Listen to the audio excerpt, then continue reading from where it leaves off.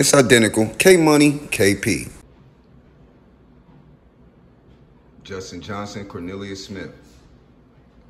Today is the day. They cannot run. They cannot try to prolong this no more. Like we said, the judge is not having it. So if they don't have lawyers, the judge will appoint them a public de- defender, public pretender, whatever you want to call it, and hurry up and get this case over with. He's ready to get justice for Dolph. The prosecutor's ready to get justice for Dolph. The streets can't wait no more. They tried their little game, but it didn't work. I mean, I understand. Y'all doing life. Y'all trying to prolong this. See how long y'all, you know, I guess can try and make a miracle happen, but it's over. It's over. The judge put in the order last week that today, on the 4th, it's the, this the last day, y'all. So they better have all of their little tricks wrapped up in a basket because the judge ain't having it. Taxpayers' dollars is at work here.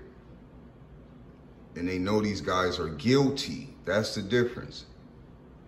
So a big, big case. And the judge even know how serious this is. The lawyers in Memphis know. They defend these two guys, they can't go to McDonald's and get a two for two with their family.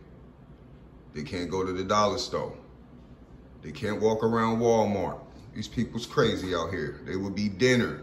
The lawyers would be dinner who represent these two guys. So even the judge know that. Probably out of town, public defenders, or I don't know. But it's, it's, it's over for this case. As of the 4th, the judge has ordered these two guys stop playing games. Get the lawyer or I'm giving y'all a lawyer.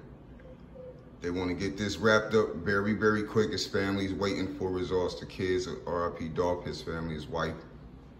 Um, so yeah, that's what it is. So there's no more playing after today. They both looking at life.